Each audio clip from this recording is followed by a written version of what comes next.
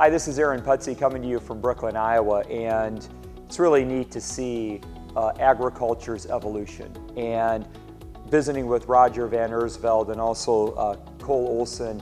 Cole's in the crop insurance business. Roger, going on your 54th crop year. And, you know, I know farming's in your blood, and Very you absolutely so. love it. Yes. And tell me about where that passion comes from for farming. Well, when I graduated from high school, if you'd have told me I was going to be a farmer, I would have bet you a million dollars. But uh, four years in the military gave me a chance to grow up and really figure out what I wanted to do, what I wanted to be in my life.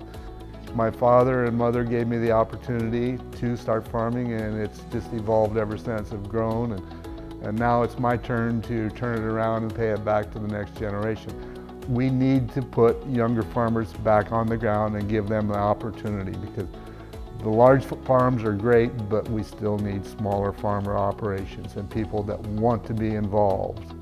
How, how did you two get to know each other? Well, actually, Cole worked for us when he was in high school when we had livestock quite a bit. And I found out that uh, he's got the ability and the mindset to be a farmer. When he graduated from high school, while we had a little conversation, he asked me, he says, would you ever consider starting somebody farming? And I said, yes, I would. And he's an ideal candidate for somebody that wants to be a farmer.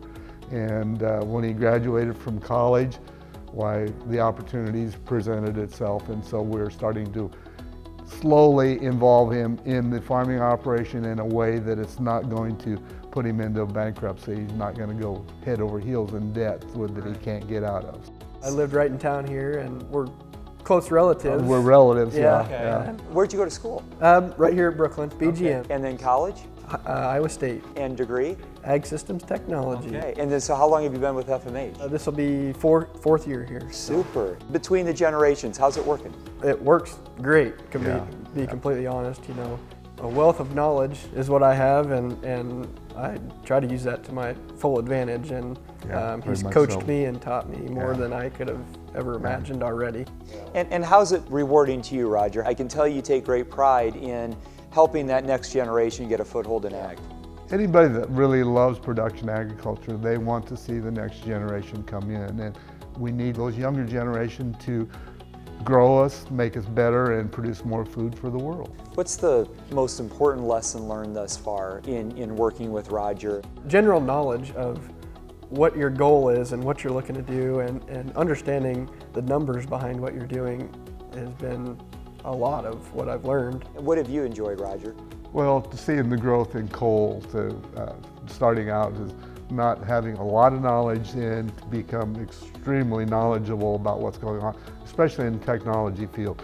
That makes the transition into the technology so much easier with a younger mind that retains things a lot better because my computer is getting full and sometimes the information just kind of goes right on through. Yeah. So having him here to be able to do that, and sometimes he challenges me to try new things that maybe I wouldn't have thought about.